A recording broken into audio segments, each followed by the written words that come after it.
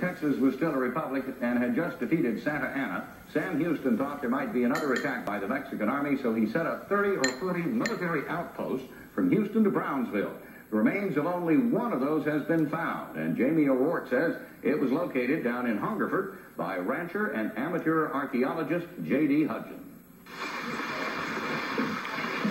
I was uh, out here looking at an Indian site, and I'd been going in a roundabout way because the field was muddy and I couldn't get across the field. Mm-hmm. And about the third time I was out here, I could see that the field had dried up a little bit, so I cut across and stumbled on the artifacts that were laying on the surface. There were bits of very old pottery and pieces of flintlock muskets.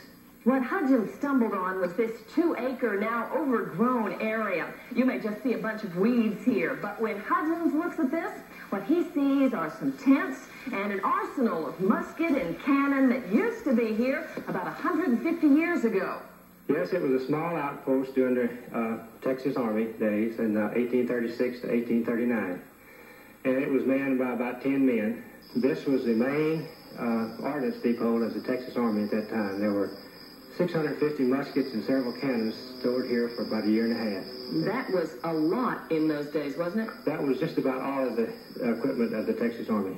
You might wonder why the outpost was in this particular wilderness spot way back when.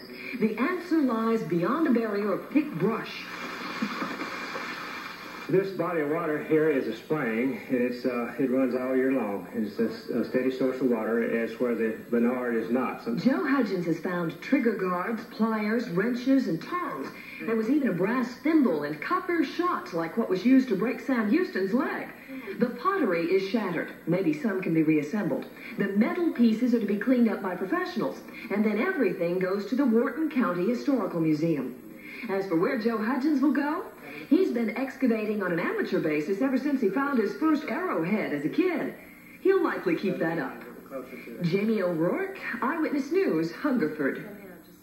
John Davenport will be along with story.